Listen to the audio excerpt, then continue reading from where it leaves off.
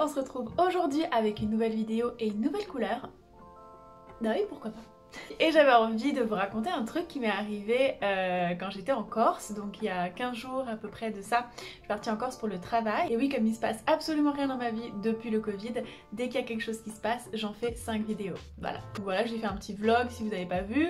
Euh, et quand je suis arrivée là-bas, donc j'étais, on était une équipe de 6. Donc moi j'étais la modèle, il y avait le photographe, maquilleur, coiffeur, etc. D'ailleurs j'étais la seule végane, ça n'a pas posé de problème.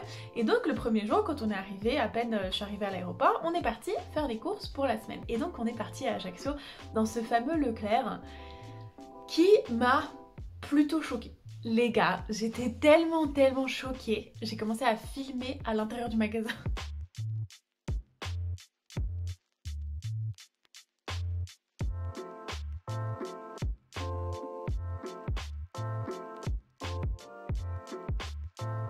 Je me disais juste mais oh mon dieu what the fuck?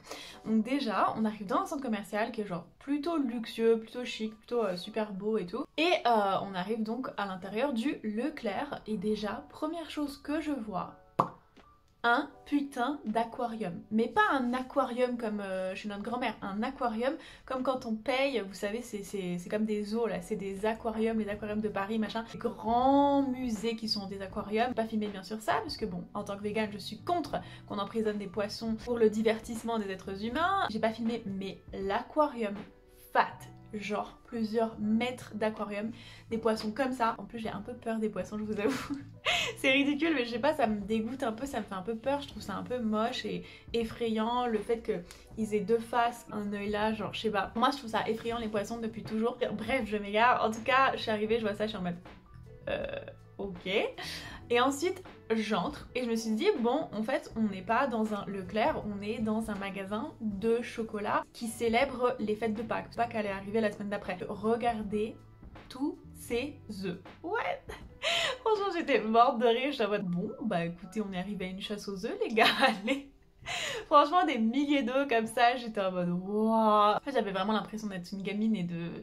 Je sais pas, ça faisait très euh, rêve d'enfant quoi. Ensuite, mais la taille des rayons, les. Mais les gars, j'ai jamais vu ça. Alors je sais, une de mes abonnées d'ailleurs m'a dit euh, que le plus grand Leclerc d'Europe, il est à Villiers. Pas Villiers-le-Bel, Villiers quelque chose comme ça. Mais là-bas, ils disent tous que c'est le plus grand d'Europe. L'ego des Corses. Bref, en tout cas, il est très très grand. Et pour moi, qui suis euh, parisienne, je suis née à Paris. Et quand j'étais petite, le truc le plus grand, c'était le Monoprix. J'ai expérimenté les supermarchés, hypermarchés, tard en fait dans ma vie. Je vais dans les petits magasins quoi euh, de ville.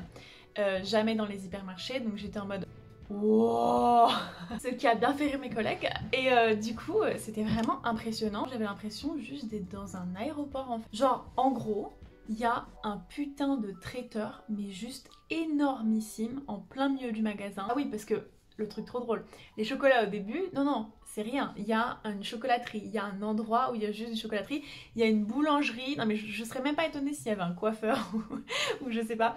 Euh, à un moment, je tourne pour aller chercher un truc et je vois, il y a tous les poissons, la poissonnerie, la boucherie, etc. Donc j'étais en mode. Je regardais par terre, je suis toujours ça, quoi. Je suis en mode, oh putain. Parce que les vegans se me comprendront, c'est toujours un plaisir euh, d'être dans les magasins et d'un coup faire oh putain merde, j'avais oublié qu'il y a des animaux morts dans les magasins. Et je regarde par terre comme ça en, contournant et là je vois une roue de voiture, mais genre une, roue de vraie voiture et tout, sur le sol du supermarché. Je me dis quoi? Je lève les yeux et je vois une voiture garée en plein milieu de la poissonnerie. Et je suis en mode comment il a fait poissonnier ce matin Il était bourré au... Et en fait voilà, il y avait une voiture, euh, c'était pour la déco apparemment, mais une vraie putain de bagnole. En vintage, hein, bien sûr, euh, pas une Tesla, mais ils ont mis une putain de voiture en plein milieu pour vous dire l'espace, la place qu'il y avait dans le magasin. De toute façon, je pense que vous voyez dans les images, j'ai jamais vu autant d'étalage énorme de fruits et légumes. Franchement, c'était super joli, bien présenté et tout. Alors après, ce qui est insupportable, c'est qu'il y avait tout autour euh, du côté primeur des frigos rempli de légumes préparés, de fruits et légumes préparés, donc dans des barquettes, dans du plastique coupé, etc. Ça c'était juste horrible. Je me disais mais c'est ridicule. Il y avait même aussi des, euh, vous savez en terrasse, euh, je suis en train de parler d'un vieux souvenir de, l'air euh, pré-Covid. Vous savez, en terrasse à Paris, parfois quand il fait très chaud dans la pendant la canicule notamment, ils mettent des, petits, des petites brumes comme ça avec un ventilo. Donc ça rafraîchit, ça mouille un peu, c'est trop agréable. ça mouille un peu. Et là, ils ont mis ça pour les fruits et légumes, s'il vous plaît. Les fruits et légumes sont mieux traités que nous dans ce magasin. Et truc de fou, il y avait mais des options végétaliennes à gogo. Genre, regardez tous les steaks végétaux. Alors bon, Erta, mais regardez-moi, putain, tous ces steaks quoi. Et j'étais là en mode, oh, on va faire des burgers, des kefta, des...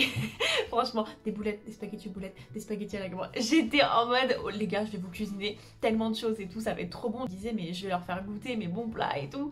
Euh, et d'ailleurs, c'est ce que j'ai fait. J'ai pas pu cuisiner trop parce que franchement, des journées de 12 à 14 heures de travail, euh, bon c'était très difficile d'avoir l'énergie pour cuisiner. Mais par contre, trop drôle. Quand je voulais euh, acheter de la mayonnaise pour le, le burger vegan, je vais au rayon sauce au moins 30 mayonnaises différentes. Je plaisante même pas. Et attention, pas une végétale. Sérieux. Alors que franchement, moi à Paris, hein, c'est la, la là, je crois que c'est Le Sueur la marque, je sais plus, il y a toujours une maillot végétale, que ce soit euh, biologique ou pas, euh, il y a toujours une maillot végétale. Franchement, c'est pas compliqué maintenant de trouver une maillot végétale. Et là, dans ce putain de magasin qui ressemble à un hangar pour la fin du monde avec euh, assez de bouffe pour, pour toute la France, il n'y a pas une maillot végane. franchement, j'étais plutôt morte de rire. Et par contre, il y avait d'autres produits en alternative végétale un choix, on aurait dit vraiment une exposition euh, dans une foire vegan, notamment le choix de lait végétaux. Voilà, je n'en avais jamais vu autant de ma vie. Et je vous avoue j'en ai pris 4 c'est un peu exagéré. Oh et il y avait oh my god tellement de différentes pietras donc la pietra c'est la bière de Corse ah, j'aime la bière j'aime l'alcool hein, je pense que vous le savez et il y avait différents types de pietras et j'étais en mode non non non non et d'ailleurs la cave à vin Oh my god. Franchement, la moula. Et il y avait à côté de la cave à vent une option pour faire la fête sans alcool, une cave à eau minérale. Il y avait cette putain de cave à je suis pas entrée parce que je me suis tapé une barre juste de rire en fait et j'ai fait des stories finalement. J'en ai rien à faire en fait, j'achète pas des bouteilles d'eau en plastique, euh, c'est pas bon pour l'environnement et il n'y a pas besoin en France d'acheter de l'eau euh, en bouteille. Mais bon voilà, encore s'il y a des bonnes eaux de source, des bonnes eaux minérales, machin. Et donc forcément le Leclerc il pousse le bouchon beaucoup trop loin et il fait une cave avec une fontaine. On dirait plus du tout qu'on est en train de faire ses courses, on dirait on visite une ville. Bref, c'est n'importe quoi. En tout cas, on a fait des belles courses, vous voyez, on a acheté tout un tas de bonnes choses euh, qui nous ont permis de bien cuisiner. Du coup, on a bien mangé. Donc voilà, c'était ma petite histoire. Euh, Léa la découverte de la contrée du Leclerc d'Ajaccio. Plus sérieusement, j'espère que ça vous a plu, que vous avez passé un bon moment. Et ne vous inquiétez pas, si vous connaissez pas ma chaîne, de manière générale, les vidéos sont un peu plus informatives avec un peu plus de contenu que ça. Si ça vous a plu, je vous laisse mettre un petit pouce bleu, ça me fait super plaisir, c'est super important pour moi. Et si vous n'êtes pas encore abonné à ma chaîne, bien sûr, abonnez-vous. Et je vous dis à bientôt pour une nouvelle vidéo.